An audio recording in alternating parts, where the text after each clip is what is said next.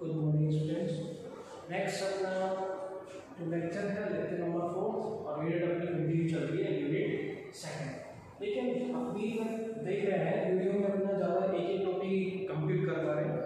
Next क्या तो शायद कल या परसों से हम एक बड़ा वीडियो बनाने वाले हैं, जितना आपको जो हमने अभी तक पढ़ाया, शायद उसमें कंटिन्यू पूरा कंटेन करके लगभग एक घंटे के आसपास पूरा कंप्लीट वीडियो बनाएँगे। अभी एक दो दिन आपको थोड़ा सा एडजस्ट करना पड़ेगा तो नेक्स्ट अभी तक हमने क्या क्या देखा है? एटॉमिक स्ट्रक्चर देख ली है। एटॉमिक स्ट्रक्चर को देखी थी हमने कि हमें पता चले कि इलेक्ट्रॉन की लोकेशन क्या है। इलेक्ट्रॉन आपका इलेक्ट्रॉन है, उसकी लोकेशन कहाँ है, कहाँ एटम के अंदर इलेक्ट्रॉन लाई करता है। उसके बाद हमने देखा था चार्ज चार्ज को डिफाइन करा था। Number of electron represent charge किसी मटेरियल के अंदर, किसी पदार्थ के अंदर मैटर के अंदर, आपके जो इलेक्ट्रॉन है, उसको रिप्रेजेंट करेंगे चार्ज को। उसके बाद वहाँ पे हमने चार्ज को किससे रिप्रेजेंट करते हैं, दूसरे रिप्रेजेंट करते हैं स्पीड क्या होती है होती है एक फॉर्मूला देखा था फॉर्मूला क्या लिखा वहाँ पे? फॉर्मूला था हमारा। यदि किसी पदार्थ में इलेक्ट्रॉन की संख्या कितनी है एन स्मॉल एन यदि इलेक्ट्रॉनों की संख्या है तो टोटल चार्ज कितना होगा? Q equal to plus minus N हमने देखा था टोटल चार्ज कितना हो? जाएगा Q equal to plus minus N into E N क्या है? इलेक्ट्रॉनों की संख्या है, और ई क्या है? इलेक्ट्रॉन पर चार्ज तो Q क्या आ जाएगा टोटल चार्ज यहाँ पे प्लस और माइनस दोनों लेके चल रहे हैं, क्योंकि चार्ज उसका जो उसके अंदर पॉजिटिव साइन वो रिप्रेजेंट करेगा। आपको as a charge as a proton या बोल सकते पॉजिटिव चार्ज और जो नेगेटिव है, वो रिप्रेजेंट करेगा एज ए इलेक्ट्रॉन या हम कह सकते हैं चार्ज के साथ नेगेटिव तो चार्ज अपना कितने टाइप का होता है? दो टाइप का होता है, और इसको चार्ज के उसके बाद हमने चार्ज यूनिट्स देखी थी कुछ आपकी स्मॉल यूनिट्स देखी थी हमने चार्ज की, जैसे चार्ज की यूनिट जो हम कूलम कहते हैं वो बहुत बड़ी यूनिट है। इस तो स्मॉल यूनिट्स का देखी थी हमने मिली वाला देखा था माइक्रो देखा था नैनो देखा था और पीको देखा था, जो हमारे न्यूमेरिकल्स में वैल्यू आपको पुटअप करनी है। जैसे क्वेश्चन में देगा वैल्यू तो आपको कूलम में बहुत कम चार्ज देखने को मिलेगा, क्योंकि कूलम अपने आप में बहुत बड़ी वैल्यू है बहुत बड़ी यूनिट मान सकते हो। इससे कम इसमें चार्ज के अंदर। तो सबसे बड़ी जो यूनिट भी देखी थी, सबसे बड़ी यूनिट हमने फेराडे देखी थी। एक फेराडे में कितना आपका चार्ज होता है, कितना कूलम होता है, वो वैल्यूज़ भी आपको याद रखनी है। उसकी सीरियस यूनिट देखी थी। सीरियस यूनिट भी आपको याद रखनी है चार्ज की सीरियस यूनिट कितनी होती है? सीरियस यूनिट जिसे कहते हैं ई या स्टेट कूलम कहते हैं। इलेक्ट्रोस्टैटिक यूनिट होती है आपकी। उसके बाद हमने देखा था करंट देखा था इलेक्ट्रिक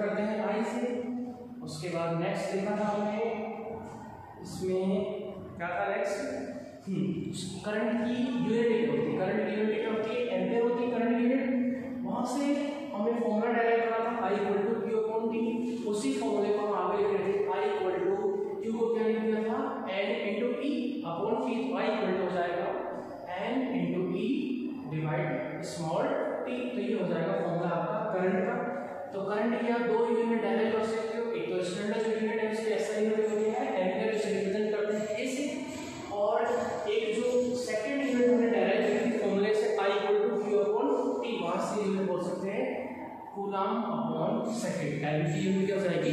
सेकंड हो जाएगी, हमने करंट में देखा था उसके बाद आगे हमने क्या देखा था? नेक्स्ट देखा था करंट कैसी क्वांटिटी तो वहाँ से हमें पता चला था ध्यान रखना स्पेशल फैक्ट है ये डायरेक्शन होने के बाद भी करंट कैसी क्वांटिटी है स्केलर क्वांटिटी इस पे थोड़ा सा फोकस करना। क्वेश्चन रहा है बहुत रेयर केस में आपको करंट वगैरह के चार्ज वगैरह की डेफिनेशन पूछी जाती है। जो कॉन्सेप्ट पूछा जाता है एग्ज़ाम में, वो है कि करंट में वो स्केलर क्वांटिटी क्यों है। करंट स्केलर क्वांटिटी है तो मैं उसका रीजन बताऊँ आपको। तो रीजन हमने लास्ट क्लास में देखा था कि करंट आपकी स्केलर क्वांटिटी क्यों है। फ़र्स्ट रीजन क्या था? करंट डिफाइन किससे होता है? करंट डिफाइन करते हैं करंट डिपेंड किस पे करता है? Q पर डिपेंड करता है और टाइम पर डिपेंड करता है। Q क्या है? चार्ज और t क्या है? टाइम चार्ज की यूनिट क्या है कूलम और टाइम की यूनिट क्या है? सेकंड चार्ज भी और टाइम भी दोनों कैसी क्वांटिटी है, ये स्केलर क्वांटिटी दोनों के दोनों कैसी क्वांटिटी स्केलर क्वांटिटी जो करंट है, वो भी स्केलर क्वांटिटी होगी, क्योंकि जिन क्वांटिटीज पर डिपेंड करती है, ये डिपेंड करती है ऊपर और नीचे। ये दोनों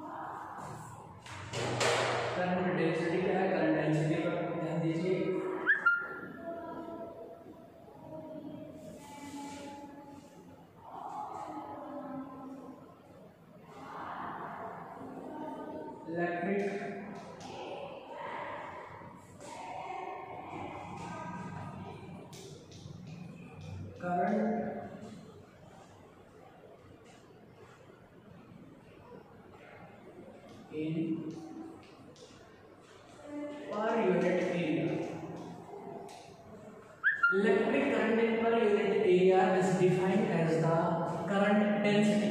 Current current हमने पढ़ा है density का मतलब होता है घनत्व तो किसी पर्टिकुलर क्षेत्र में से, किसी पर्टिकुलर एरिया में से कितना करंट पास हो रहा है, या उसकी डेंसिटी कितनी है, उसकी कितनी मात्रा उससे पास हो रही है इससे ये डिपेंड करेंगे हम, धारा घनत्व जैसे इसको आप समझ सकते हो, समझने के लिए मान सकते हैं, जैसे हम जनसंख्या घनत्व पढ़ते हैं पॉपुलेशन डेंसिटी पढ़ते हैं कि पर्टिकुलर क्षेत्र में कितने लोग बाग रहते हैं? इसी प्रकार से है धारा घनत्व। धारा घनत्व मतलब पर्टिकुलर किसी एरिया में से कितना करंट या कितना रेट ऑफ़ चार्ज फ्लो होता है, उसे रिप्रेजेंट करेंगे किससे? उसकी उसे डिफाइन करेंगे किससे? करंट डेंसिटी से या धारा घनत्व से। अभी हम डायग्राम से अच्छे समझ लेंगे। और यहाँ से यदि हिंदी में लिखना चाहो, प्रति एकांक क्षेत्र से प्रवाहित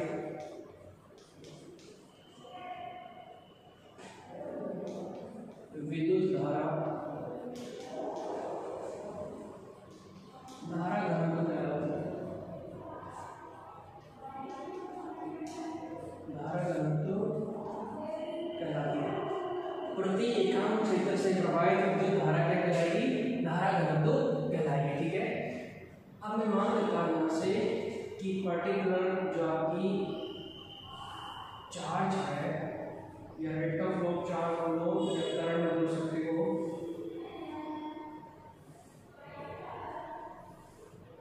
ये करंट आई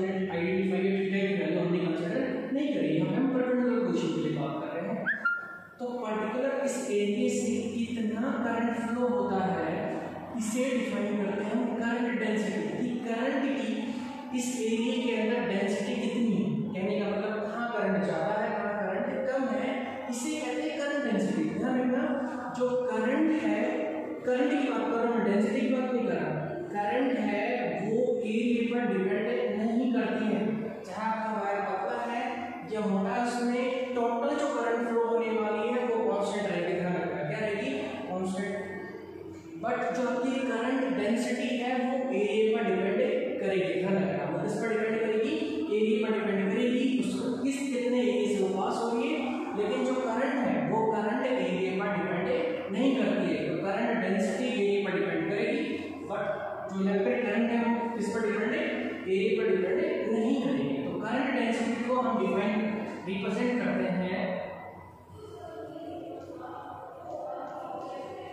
current density current density represent करी जाती है जैसे किससे रिप्रेजेंट करी जाती है जैसे ध्यान रखना करंट डेंसिटी एक पर्टिकुलर एरिया में से पास होगी। तो ये किस पर डिपेंड करेगी? एरिया पर डिपेंड करेगी और ध्यान देना ये कैसी क्वांटिटी है। ये स्केलर क्वांटिटी जहाँ पर कैसी क्वांटिटी है? वेक्टर क्वांटिटी है जिस पर हम वेक्टर लगा देंगे। तो करंट डेंसिटी को किससे रिप्रेजेंट करते हैं? जे वेक्टर से, ठीक है? तो यहाँ से यदि हम फॉर्मूला बनाना चाहते हैं। तो फॉर्मूला क्या होगा?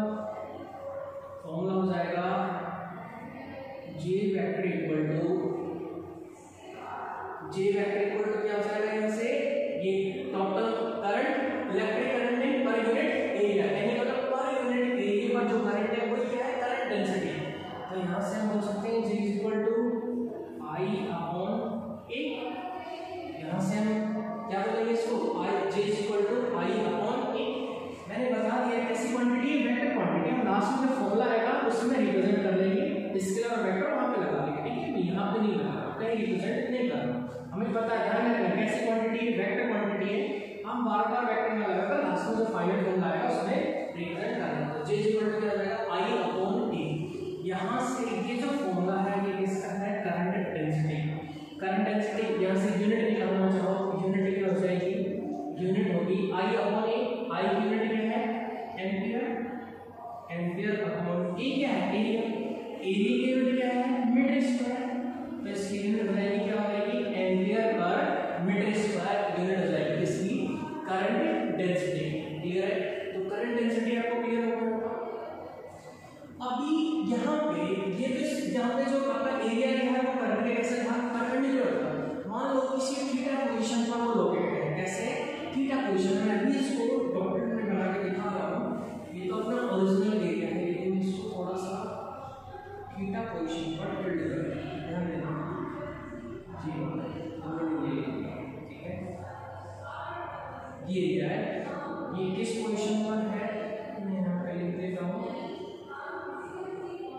किस पोजीशन पर है ये थीटा पोजीशन पर है, और ये इसकी डायरेक्शन वेक्टर कर देता हूँ एन ठीक है?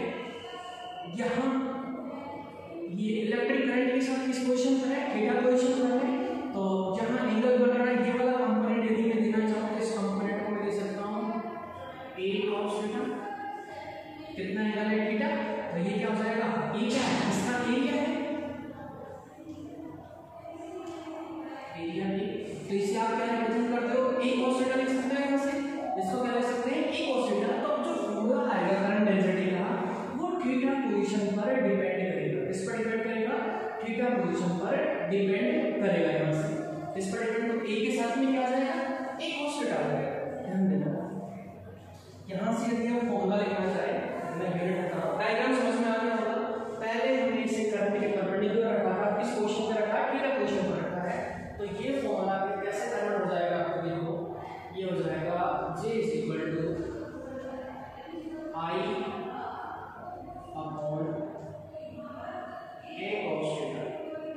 ये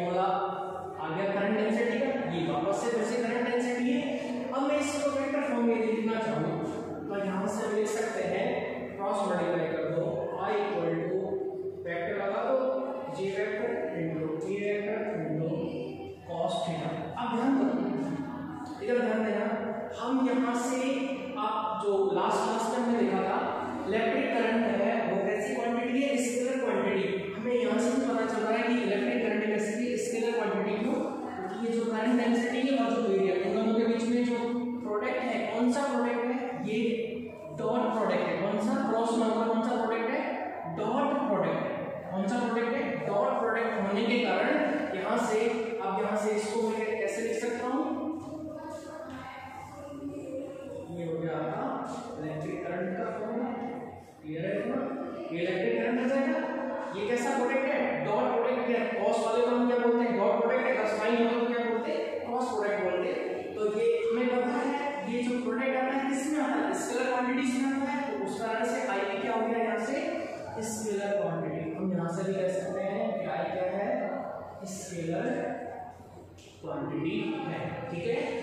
तो हमने करंट डेंसिटी देख लिया। कि पर यूनिट एरिया पर जो आपका करंट है, वो इसको रिप्रेजेंट करता है करंट डेंसिटी को। हमने पर्टिकुलर एरिया मान लिया, जिसमें से कितना करंट फ्लो हो रहा है? आई करंट इनिशियली हमने लिया कि जो आपका एरिया है वो इलेक्ट्रिक करंट के परपेंडिकुलर है और सेकंड कंडीशन में लिया किस पोजीशन पर लोकेटेड है थीटा पोजीशन पर लोकेटेड है तो इसमें थीटा है, उस पर डिपेंड करेगी करंट डेंसिटी आप थीटा की वैल्यू चेंज करोगे तो करंट डेंसिटी की वैल्यू भी चेंज होने वाली है। क्लियर है आपको? यहाँ से करंट डेंसिटी समझ में आ गया। अब ये देखो लास्ट की पहले मैंने कॉन्सेप्ट बताया था। कि करंट डेंसिटी है वो एरिया पर डिपेंड करती है। किस पर डिपेंड करेगी? एरिया पर डिपेंड करेगी बट इलेक्ट्रिक करंट है, वो एरिया पर डिपेंड नहीं करता। वो एरिया पर डिपेंड नहीं करेगा, ठीक है? इलेक्ट्रिक करंट एरिया पर डिपेंड नहीं करेगा करंट डेंसिटी एरिया पर डिपेंड करेगी। वो कैसे करेगी देखो? यदि आपका जो ये एरिया लिया था, जिसमें से इलेक्ट्रिक करंट पास हो रहा था, इस एरिया की वैल्यू आप क्या कर देते हो? इंक्रीज कर देते हो। इस वैल्यू क्या कर दोगे? इंक्रीज कर दोगे तो करंट डेंसिटी क्या हो जाएगी? कम होगी कि नहीं होगी? जितना ज़्यादा एरिया होगा, उतनी करंट की डेंसिटी क्या हो जाएगी? कम हो जाएगी। कहने का मतलब जो करंट फ्लो हो रहा था पर्टिकुलर एरिया में से, उसमें हमने करा क्या है? जो एरिया लिया था। पहले मान लो आपने इतना एरिया ले रखा था, जिससे कह रहा है हमने? ए शुरुआत में ए लिया।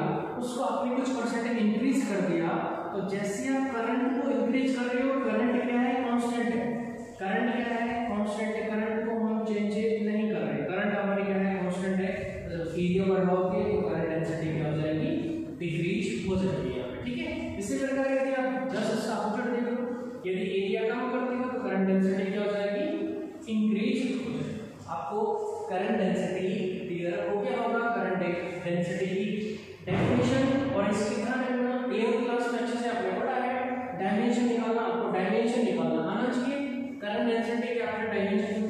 क्लास में लगभग आपकी एक डायमेंशन तो हर साल पूछी जाती है।